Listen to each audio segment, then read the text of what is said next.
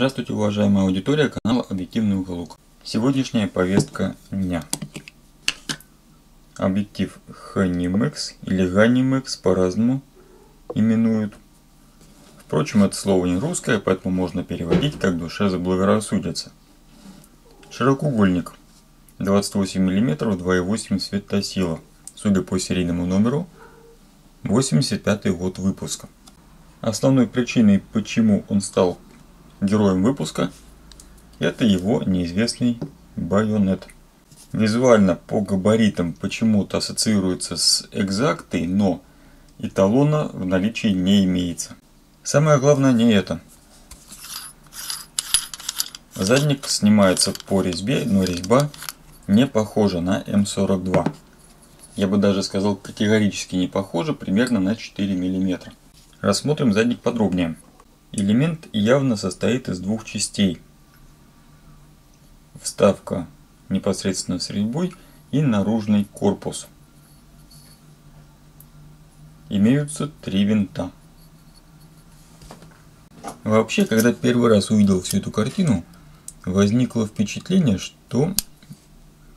О, да это же хвост типа Т2. Быстренько поменять и все в порядке. Но не тут-то было. Как раз из-за несоответствия резьбы. Однако, объективчик постоял примерно с неделю. Может быть даже чуть больше. И появилась такая вот идея. Если здесь не резьба М42 и даже не резьба М42 с маленьким шагом, то почему бы не попробовать изъять вставку. Может быть она все-таки как-то вынимается. Не без варварства. Удалось подцепить плоской отверткой и начать выдвигать вставочку с резьбой из корпуса. Но вставочка с резьбой была посажена еще и на клей. И судя по тому, как он выглядит по месту отрыва, очень похоже на банальный суперклей. Впрочем, тут я, конечно же, могу ошибаться. Что имеем теперь?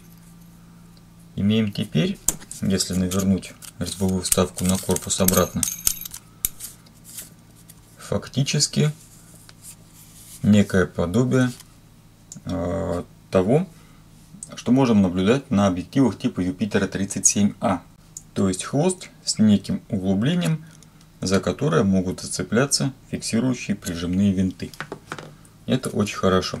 Берем хвостовик Т2.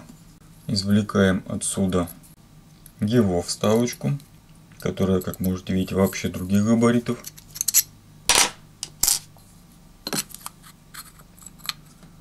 И, как ни странно, пусть и с некоторым зазором, но худо-бедно хвост одевается.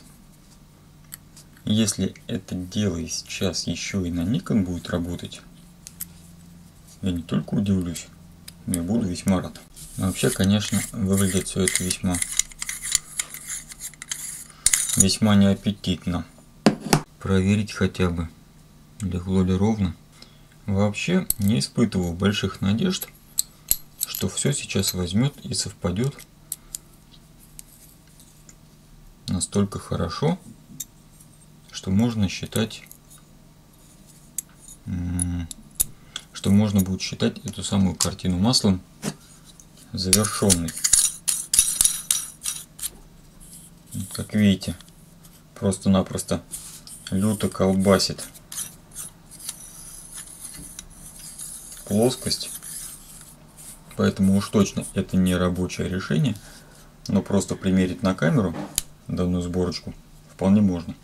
В общем, как показала проверка бесконечности, где-то сантиметрах на 45-50, но, как говорится, есть куда, есть куда смещаться.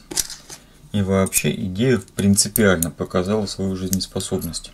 А раз так, значит есть смысл подумать уже более, а, более конкретно, с размерами, с обдумыванием, от чего будем отталкиваться.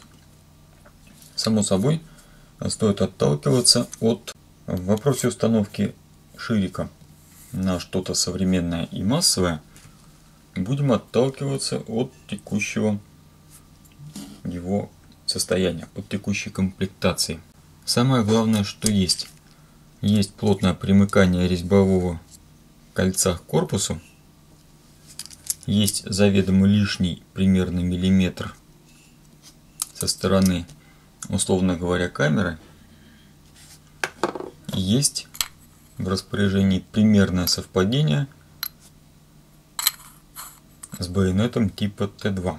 Сточил все, что выступает из байонета Nikon. Плюс немного заглубился. Раскреплю конструкцию, чтобы помыть от стружки. И будем проверять, как это теперь работает. Мой план удался, только с некоторыми поправками. Остался небольшой зазор между корпусом объектива и между хвостом, потому как э, сам объектив упирается в переходник, в торец переходника несколько раньше. Впрочем, это не принципиально. Бесконечность на Nikon уже есть, даже с небольшим перебегом. Мой вердикт по качеству съемки данного объектива. Весьма удивлен. При открытой диафрагме резкость достаточно высокая, хотя и можно усмотреть некоторые ореолы, например, вокруг светлых надписей на темном фоне.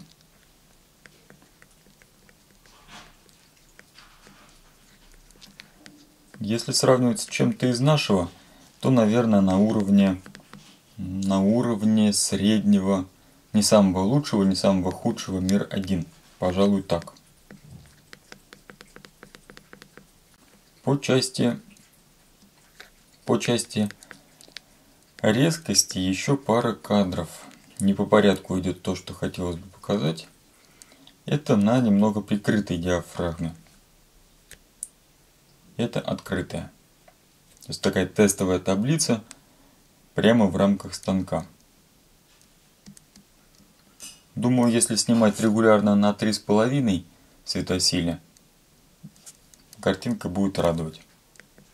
Причем на такой светосиле, на такой диафрагме, по идее в боке сильных изменений не должно происходить, поскольку в диафрагме 8 лепестков. Не слишком много, но и немало. В отдельных случаях возможны аберрации. Всякая хроматика, она лезет.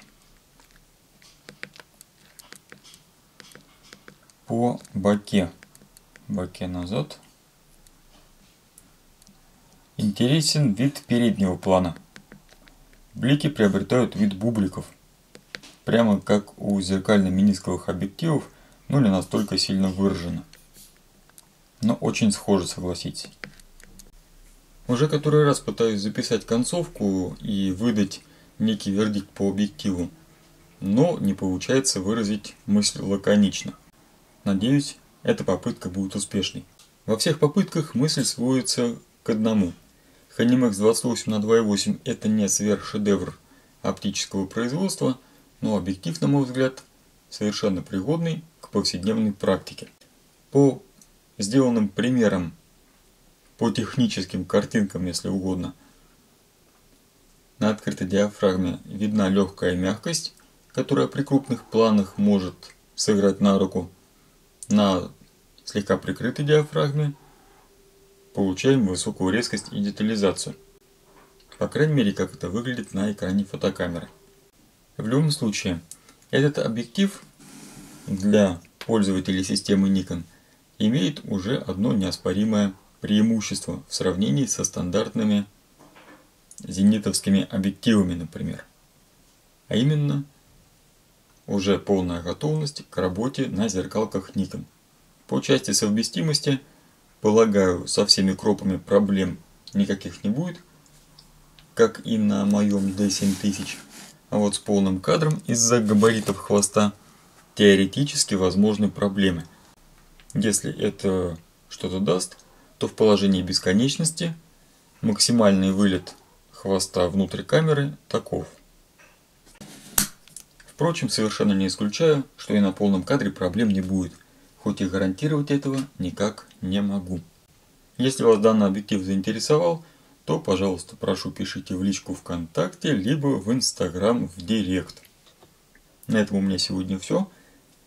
Материал сравнительно простенький, я бы даже сказал категорически простенький на фоне обычных работ, но счел уместным его все-таки опубликовать. И на этом мне сегодня добавить нечего. Спасибо за внимание. Увидимся на канале Объективный уголок.